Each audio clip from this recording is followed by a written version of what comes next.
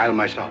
From its release in 1942 to the present, Ernst Lubitsch's To Be or Not to Be has divided critics and historians. That's not in the script, Mr. Bronski. But it'll get a laugh. This is because it mixes comedy with a serious depiction of the oppression of Poland by the Nazis early in World War II. The plot centers around a theater troupe whose satirical play, Gestapo, is banned.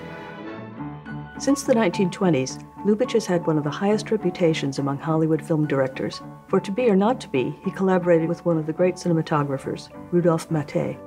Lubitsch and Maté skillfully varied their use of three point lighting in the film to match the shifting tones of its scenes. And if we should ever have a baby, I'm not so sure I'd be the mother.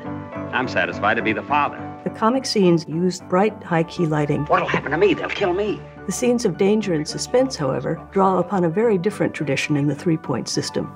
Three point lighting has proven such a versatile and effective system that it is still widely used in mainstream filmmaking around the world.